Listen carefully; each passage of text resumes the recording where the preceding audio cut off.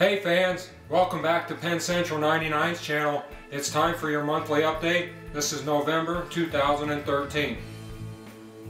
Uh, there's really not a whole lot to talk about this month because um, I haven't been spending a whole lot of time on trains, but uh, just to give you an idea of what I've been up to lately, uh, a few purchases lately.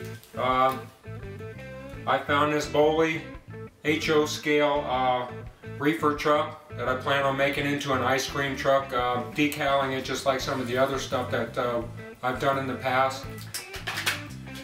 uh, bought some surface mount LEDs. I'm going to start to experiment with uh, LEDs, you know, maybe some ditch lights or uh, headlights for my locomotives and uh, see what they look like.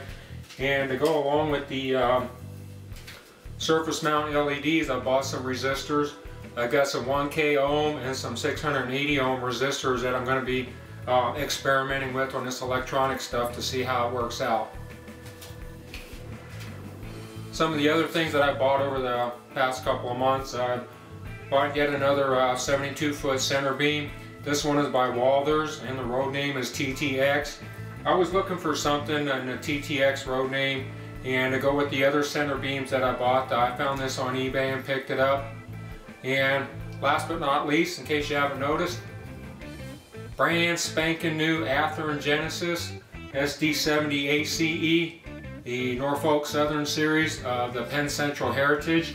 This just arrived uh, yesterday and uh, I'm pretty happy with it, pretty satisfied with it. I got it out of the box sitting on the track. I've already run it. She sounds great. A few minor tweaking and some CVs and she should be ready to go. But I think what I'm going to do is, uh, since I just got this, do some other video series on programming CVs and uh, setting things up along with the product review.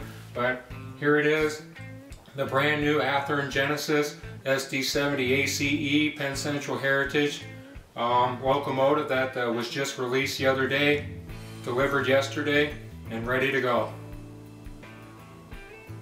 Well, like I said, there's not a whole lot for this uh, monthly update. So once again, thanks for watching.